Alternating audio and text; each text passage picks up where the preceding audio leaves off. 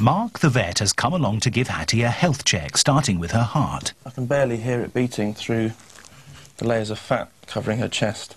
It's time now to solve some of your pet problems with Marc. Nice to see you. You all right, you? As Marc pays a home visit with cat behaviour advisor Sarah Fisher. She's a phenomenal cat behavioural expert. She's one of the best, and I can't wait to see what she comes up with. And I think we know why he's been in a bit of a strop, because he's a girl. Marc wants to analyse Ralph's diet to see if that holds the key to his bad behaviour. So, Pauline, I just want to show you what you're feeding Ralph in just one week. That's loads.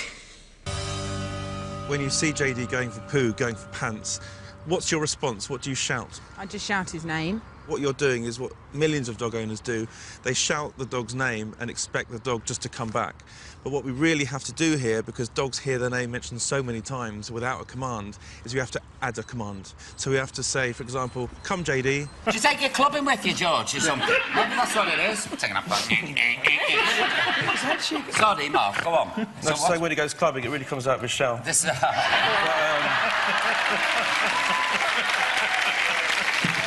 I'm very proud to say that on behalf of Pedigree, you have been successful. And you are the recipient of £20,000. Really? Yeah. Is that true? Oh, yes.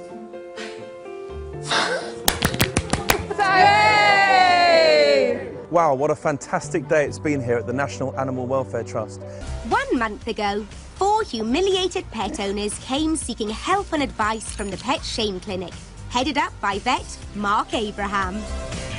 Molly, Molly, Molly! They take them on, they make fantastic family pets. Well, you say this is for, for, for older, elderly people. It's a greyhound. How are you going I know, to keep up with that? That's a good exercise-wise. point, Philip and Holly, but they don't need as much exercise as people think. It's a complete myth. A normal adult female beagle should weigh about roughly 12 kilos.